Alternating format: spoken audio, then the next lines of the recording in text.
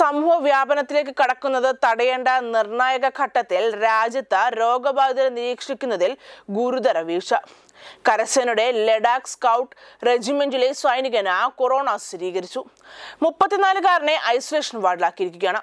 മഞ്ഞിൽ പോരാടുന്നതിന് പ്രത്യേക പരിശീലനം നേടിയ റെജിമെന്റിൽ പ്രവർത്തനം നിർത്തുകയും ചെയ്തു. എണ്ണൂറ് സൈനികർ നിരീക്ഷണത്തിലാണ് ഇപ്പോൾ.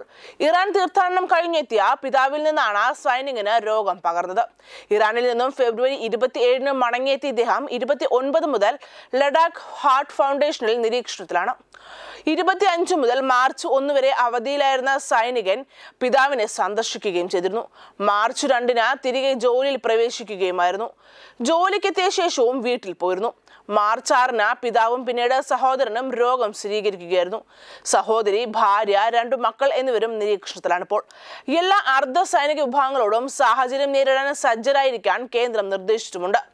ഒരു സൈനിക ഉദ്യോഗസ്ഥനും സ്ത്രീയും രോഗലക്ഷണങ്ങളെ തുടർന്ന് പൂനെ സൈനിക ഇൻസ്റ്റിറ്റ്യൂട്ടിൽ നിരീക്ഷണത്തിലുമാണ്.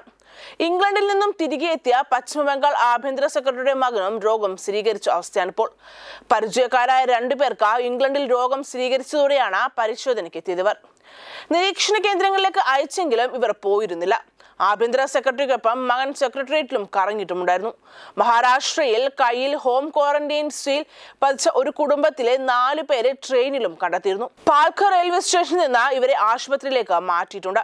ഡൽഹി ആഗ്ര അസം മേഘാലയ എന്നിവിടങ്ങളിൽ സന്ദർശിച്ച നോർവേ പൗരന് ഗോവയിൽ രോഗം സ്ഥിരീകരിച്ചിരുന്നു.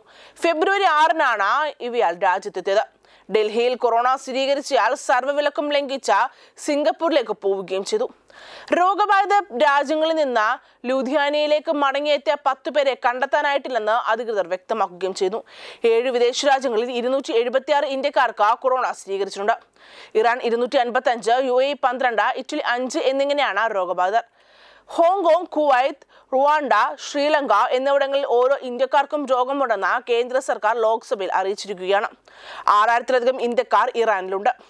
ഇറാനിലും ഇറ്റലിയിലുമുള്ള ഇന്ത്യക്കാരെ പരിശോധനയ്ക്ക് ശേഷം മടക്കിക്കൊണ്ടുവരാനുള്ള ശ്രമം തുടരുകയുമാണ്. ഇറാനിൽ നിന്ന് ആയിരത്തി എഴുന്നൂറ്റി ആറ് പേരുടെ സാമ്പിൾ ശേഖരിച്ചിട്ടുണ്ട്. രാജ്യത്ത് രോഗം സ്ഥിരീകരിച്ചവരുടെ എണ്ണം നൂറ്റി അൻപത്തി ഒൻപത് ഇവരിൽ ഇരുപത്തിയഞ്ച് വിദേശികളാണ് അൻപത്തി ഏഴായിരത്തിലധികം പേർ നിരീക്ഷണത്തിലുമാണ്. മഹാരാഷ്ട്രയിൽ നാൽപ്പത്തിയഞ്ച് പേർക്കും കർണാടകത്തിൽ പതിനാല് പേർക്കുമാണ് രോഗം. തമിഴ്നാട്ടിൽ ഒരാൾക്ക് കൂടി വൈറസ് ബാധ സ്ഥിരീകരിക്കുകയും ചെയ്തു. യു പിയിൽ രോഗിയെ പരിശോധിച്ച ഡോക്ടർക്ക് കോവിഡ് സ്ഥിരീകരിക്കുകയും ചെയ്തിരുന്നു. മഹാമാരി തടയാൻ രാജ്യമൊന്നാകെ പ്രതിരോധ പ്രവർത്തനങ്ങൾ നടത്തുന്നതിനിടെ മുന്നറിയിപ്പ് മറികടന്ന ലക്ഷങ്ങളെ പങ്കെടുപ്പിച്ച രാമനവമി മേള നടത്താൻ ഉത്തർപ്രദേശ് സർക്കാർ തയ്യാറാവുകയാണ്. അയോധ്യയിൽ ഇരുപത്തിയഞ്ച് മുതൽ ഏപ്രിൽ രണ്ട് വരെയാണ് മേള. മേളയ്ക്കെതിരെ ആരോഗ്യ വിദഗ്ധർ രംഗത്ത് വന്നിട്ടും പിന്നോട്ടുള്ള നിലപാടിലാണ് സർക്കാർ. മേള ദൂരദർശനിൽ ലൈവ് നൽകാനും പദ്ധതിയുണ്ട്. രാമക്ഷേത്രം നിർമ്മിക്കാൻ സുപ്രീം കോടതിയിൽ നിന്ന് അനുമതി കിട്ടിയ പശ്ചാത്തലത്തിൽ ഈ വർഷം ആഘോഷം ഒഴിവാക്കാനാകില്ലെന്ന നിലപാടിലാണ് മുഖ്യമന്ത്രി യോഗി ആദിത്യനാഥ്. ലോകത്ത് കൊറോണ ബാധിച്ച് മരിച്ചവരുടെ എണ്ണം എണ്ണായിരത്തി തൊള്ളായിരത്തി നാൽപ്പത്തിനാലായി ഉയർന്നു. നാനൂറ്റി എഴുപത്തിയഞ്ച് പേരാണ് ഇറ്റലി ഒറ്റ ദിവസം കൊണ്ട് മരണപ്പെട്ടത്. കൊറോണ ബാധിച്ച് ഒരു ദിവസം രാജ്യത്ത് രേഖപ്പെടുത്തിയ ഏറ്റവും ഉയർന്ന മരണസംഖ്യ കൂടിയാണിത്. കൊറോണയിൽ വിറങ്ങലിച്ച് നിൽക്കുകയാണ് യൂറോപ്പും ഇറ്റലിയും ഇരുപത്തിനാല് മണിക്കൂറിനുള്ളിൽ നാനൂറ്റി എഴുപത്തിയഞ്ച് പേരാണ് ഇറ്റലിയിൽ കഴിഞ്ഞ ദിവസം മരണപ്പെട്ടത്. Web desk Kerala news.